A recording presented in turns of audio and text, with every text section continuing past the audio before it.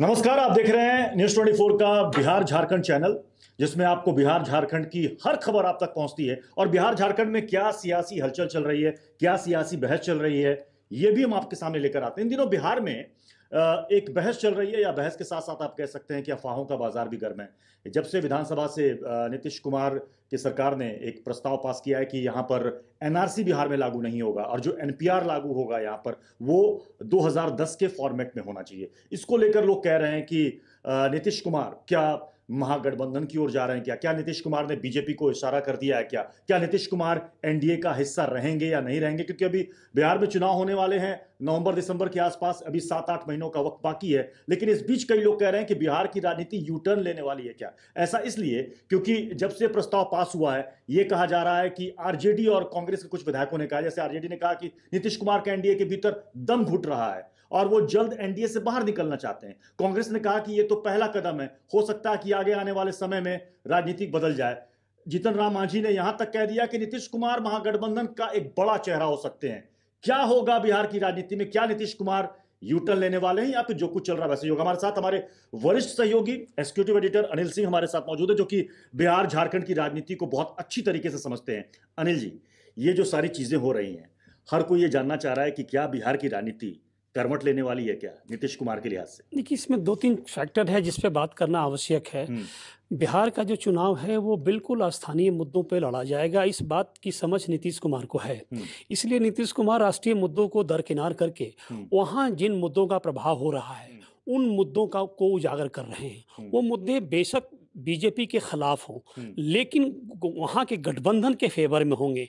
इसलिए जिन जिन मुद्दों की आपने बात की वो बेशक बीजेपी पकड़ के सेंटर में बैठी हुई उन मुद्दों को लेकिन बिहार के संदर्भ में केंद्रीय मुद्दे एप्लीकेबल नहीं होंगे। इसलिए नीतीश कुमार उन मुद्दों को हट के उसको इंडिजनाइज कर रहे हैं वहाँ पे इंडिजनस अप्रोच देने की कोशिश कर रहे हैं। और ये बात अभी मान लीजिए आप कि बैलेंस ऑफ़ पावर बिहार में आज की तारीख में नीतीश कुमार के साथ है एनडीए के साथ है इसके अनेक कारण हैं। दूसरा जो पक्ष है जिसको महागठबंधन कह रहे हैं हाँ। उसमें एक बिखराव की बात आ रही है।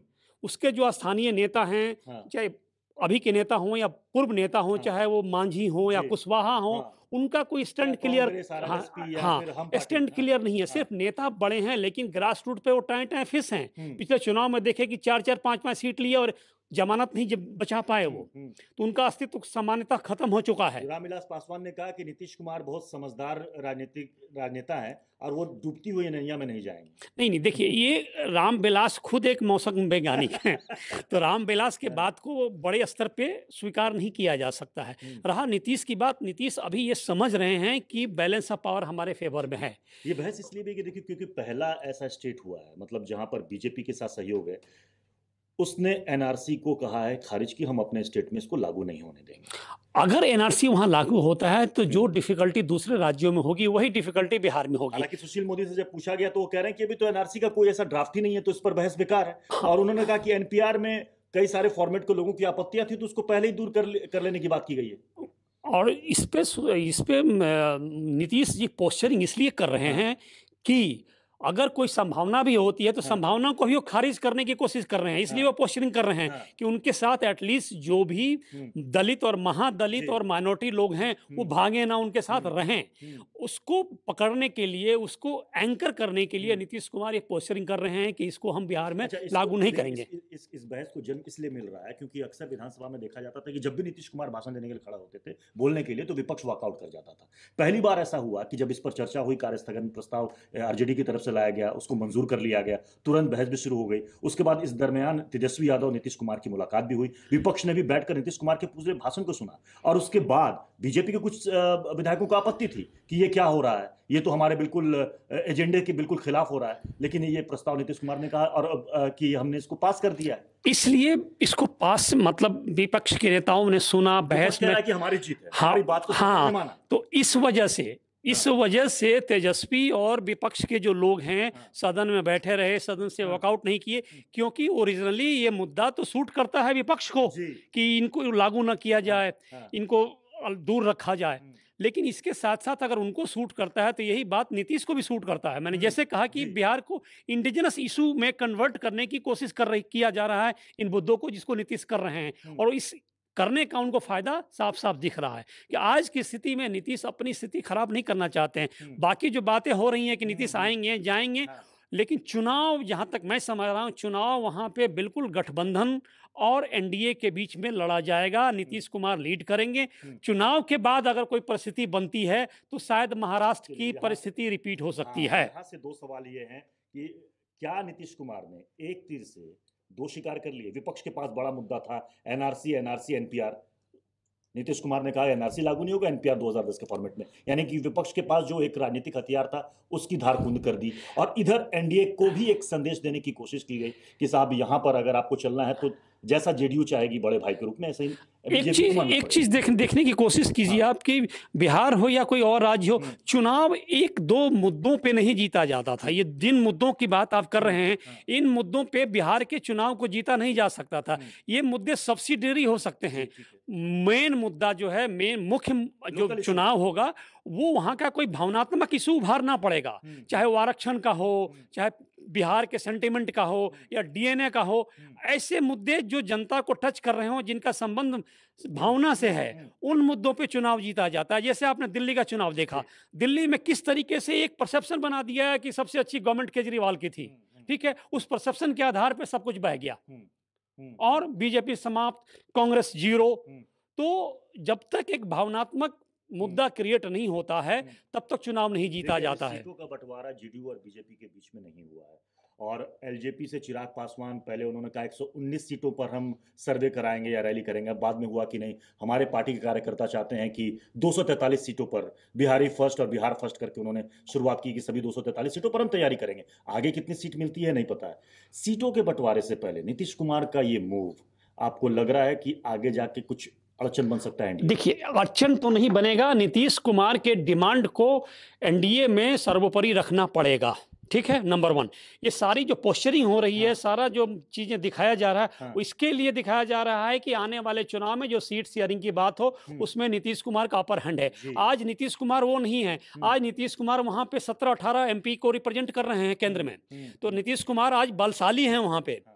मुख्यमंत्री हैं हम्म। तो आज बीजेपी उनको छोटे भाई के रूप में ट्रीट नहीं कर सकती है और ज़ाहिर है कि ऐसा मुझे लग रहा है कि या तो फिफ्टी फिफ्टी हो हाँ। या हो सकता हो कि बीजेपी से भी ज़्यादा सीट नीतीश कुमार हम्म। डिमांड करें और डिमांड मानना पड़े इनको हम्म। नहीं तो एक राज्य और इनके हाथ से निकलेगा। पोस्चरिंग की बात की क्या ऐसा तो नहीं है कि नीतीश कुमार एक तरीके से एनडीए और बीजेपी को खासकर ये मैसेज देने की भी कोशिश कर रहे हैं कि ऑप्शंस मेरे लिए अभी भी खुले हैं? क्योंकि जितन राम मांझी कह रहे हैं कि अगर वो आते हैं तो उनका स्वागत है और वो महागठबंधन में नीतीश कुमार से बेहतर और बड़ा चेहरा कोई हो नहीं सकता। देखिए ये बात सही है कि नीतीश कुमार का जो भविष्य है वो हम्म, एनडीए में अब बचा नहीं है। हम्म, क्योंकि इतनी बार मुख्यमंत्री रह चुके हैं वो कि अब जनता उनसे बोर हो रही है। हम्म, मुख्यमंत्री से ऊपर बिहार में कुछ हो नहीं सकते हैं। हम्म, लेकिन अगर मान लीजिए किसी कारणवश उस गठबंधन में आ रहे हैं हम्म, तो एक बड़े चेहरे के रूप में हम्म। एक प्रधानमंत्री के कैंडिडेट के रूप में मोदी मोदी के मोदी के विकल्प के रूप में उनको विपक्ष पेश कर सकता है। क्योंकि अभी भी नीतीश कुमार की जो छवि है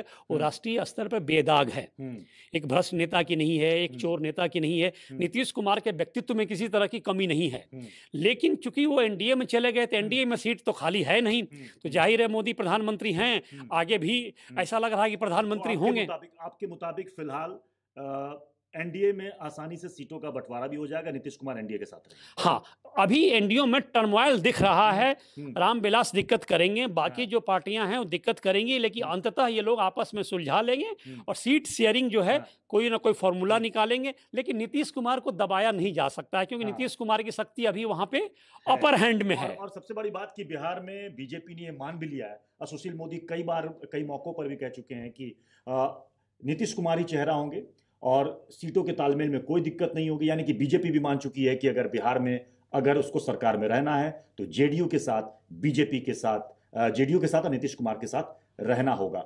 बिहार में और क्या डेवलपमेंट होगा? क्योंकि राजनीति में कुछ भी हो सकता है, कभी भी हो सकता है। अभी आठ नौ महीनों का वक्त बाकी है। जब बिहार में विधानसभा चुनाव होंगे, उसकी जो जो अपडेट होगी या फिर सियासत से जुड़ी कोई भी हलचल या बहस होगी, न्यूज़ 24 बिहार, झारखंड आप तक उसको लेकर आएगा। और हम समझाने की कोशिश करेंगे, हमारे साथ एग्जीक्यूटिव एडिटर अनिल सिंह भी हमारे साथ मौजूद रहेंगे, जो कि बिहार की राजनीति के नब्स को अच्छी तरीके से जानते हैं और क्या हो सकता है भविष्य में, उसको भी हम टटोलने की कोशिश करेंगे। और आप अगर न्यूज़ ट्वेंटी बिहार झारखंड में कोई अन्य मुद्दों पर बहस चाहते हैं तो आप अपनी राय दे सकते हैं। आप क्या देखना चाहते हैं, या फिर आपकी किसी राजनीतिक विषय पर क्या राय है, टिप्पणियाँ हैं, वो भी आप हमसे कर सकते हैं। हम फिर एक नए मुद्दे, एक नए विषय के साथ बहस के लिए हाजिर होंगे। फ़िलहाल शुक्रिया। शुक्रिया Anil ji. Thank you so much